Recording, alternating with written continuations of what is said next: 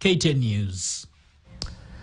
First Lady Rachel Ruto joined religious leaders drawn from all walks of life and various denominations to pray for the country. The International and Interdenominational National Prayer Day saw intercessionary prayers held with the leaders praying for peace, for good weather, for the economy, for the country's leadership, and for Kenya to have a fruitful year in 2024. Tell your neighbor,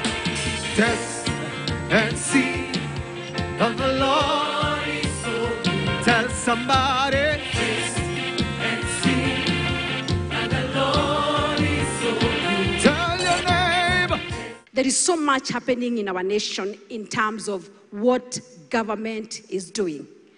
Um, the program that the president has on the better, pro, uh, uh, the better uh, agenda, you know, leading the nation to where he wants the nation to do, you know, together with all the other government leaders.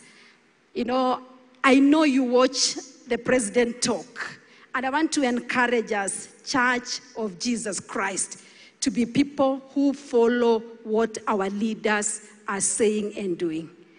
You know, projects like the Affordable Housing Project, universal health care, food security. Archbishop has told us about issues of manufacturing and so on and so forth.